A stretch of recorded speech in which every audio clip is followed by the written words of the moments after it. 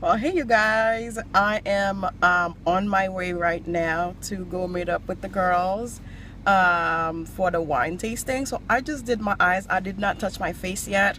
I am probably gonna be doing it while I am driving up to the hotel. Well, not me gonna be driving. Uh, one of the girls gonna be driving, so I could do. Um, so I could do my makeup to finish up my makeup while I am. On my way there. So uh, yeah I'll see you guys in a little bit to continue this journey. Um, I'm really really excited. So, so yeah see you in a bit. my face is done. A bunch of girls. We are getting ready to get into our chariot. Look at her. Look at her. She's ready. Look at her. She's